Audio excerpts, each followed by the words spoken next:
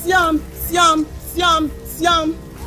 Sisemia, Sisemia, Sisemia. Kwan kwan kwan, kwan kwan kwan kwan. Kwan kwan kwan kwan kwan kwan kwan kwan. Breaking news. Welcome back to High TV, where you must be smoking if you really believe us.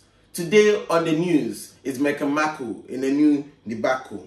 The royal family, some are saying Prince Charles had debates over the skin color of Hachi, whether he will be a Walter White or a Michael Blackson.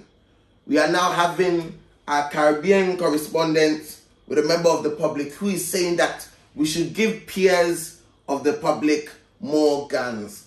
Can we take you to the Caribbean correspondent, Mary Joanna? All right, thanks, Leroy. I'm here with one of the members of.